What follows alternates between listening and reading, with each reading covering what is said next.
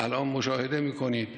باز مسئله مذاکره رو آمریکایی ها همینطور دارن دنبال می‌کنن. این یک ترفند است. اینو باید همه بدانند. همه باید توجه کنند.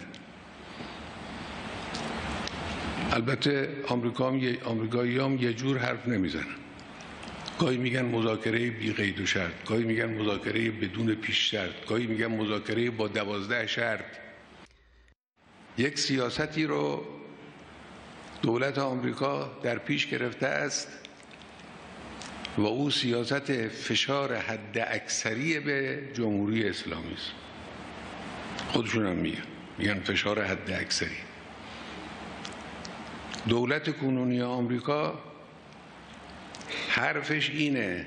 میگه که آقا با رودرواسی و با تعارف و با اینها نمیشه جمهوری اسلامی رو به زانو در آورد. او می‌خواهد فشار حد اکثری را به ثمر برساند هم برای رقبای داخلی خودش هم برای اروپایی ها هم به عنوان یک سیاست قطعی رژیم ایالات متحده این رو جا بیاندازه که مواجهه با ایران فقط با فشار حد اکثری اینکه اینا اصرار به مذاکره دارن اینی که بعضی از اروپایی ها رو میندازن وسط که من حالا راجع به اروپایی ها یه وقت دیگه صحبت خواهم کرد. که هی اصرار کنن که بیایید با رئیس جمهور آمریکا یه جلسه بکنید همه این مشکلات شما حل خواهد شد. این به خاطر اینه.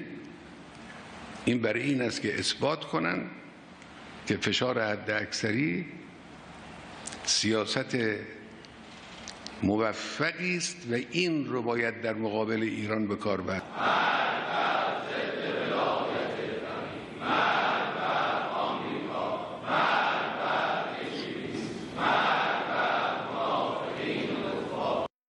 یک جمله این است که مذاکره با آمریکا یعنی تحمیل خواسته های آمریکا بر جمهوری اسلامی ایران.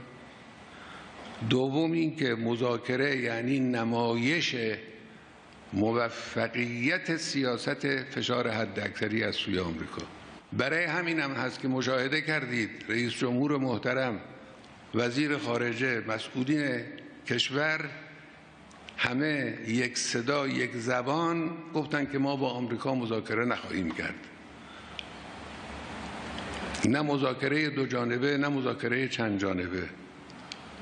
اگر آمریکا حرف خودش رو پس گرفت معاهده درباره هسته ای را که نقض کرده بود اگر توبه کرد و برگشت به این معاهده شد عضو کشورهای معاهده کننده اون وقت در جمع کشورهای معاهده کننده که شرکت می‌کنن با ایران صحبت می‌کنن اونم شرکت کنه.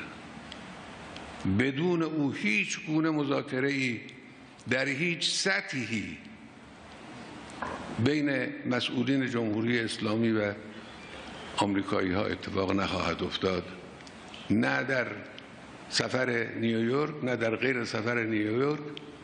این را هم رئیس جمهور محترم تصریح کرد هم وزارت خارجه گفت هم دیروز دیشب دیدم در تلویزیون سخنگوی محترم وزارت خارجه گفت.